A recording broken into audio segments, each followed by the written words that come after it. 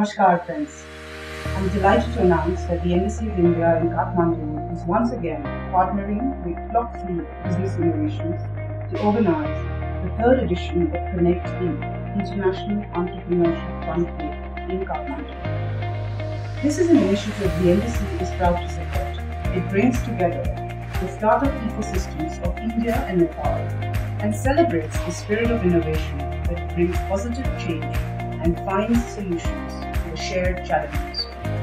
Connect In is a platform for young entrepreneurs from Nepal and India. I'm really excited to announce that I will be part of third edition of Connect In as a moderator. In a circular economy such as ours, finding collaborative networks to work with is a key success area. Come, join us at Connect In, Connect In, and learn to weave your magic.